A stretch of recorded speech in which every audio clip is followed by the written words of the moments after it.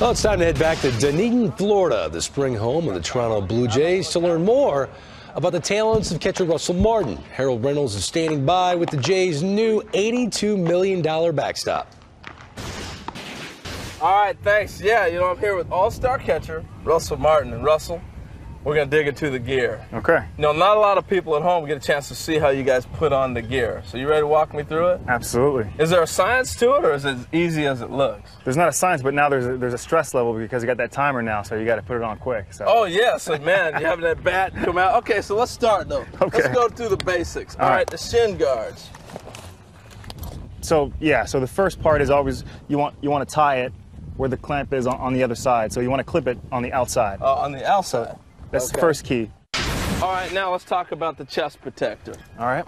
Uh, you, you got my straps all tight here. Do I hold this tight? Do you want this tight too?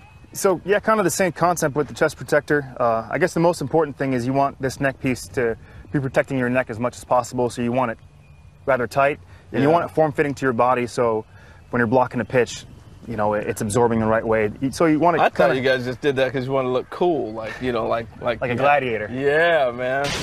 All right, so we got this on. I'm looking sharp already. Okay, now got to go with the helmet, right? Protecting my head. Is that the next thing? The helmet?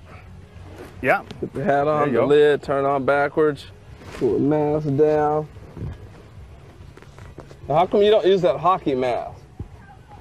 It's just personal preference. I I mean, some guys like the hockey mask, and, and I've always liked that one. I like it when it when you get hit in the mask, or it kind of deflects, so it deflects some of the force instead of just, you know, having the full impact going to your brain. I like it when it kind of deflects and the mask can fly off and stuff like that. Oh, I'm looking sharp. No, I'm looking sharp. Man, I'm ready to catch a game. Where's the glove at? So my gamer, I just, I just want a nice pocket. So when I do catch the ball, I try and catch it in the same spot every time, and uh, so when I'm going to transfer the ball, I just know where it's going to be in that same pocket.